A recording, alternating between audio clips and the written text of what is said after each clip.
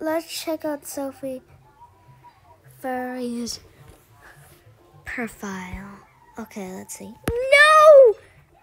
S Sophie Furry blocked me! I'm so sorry!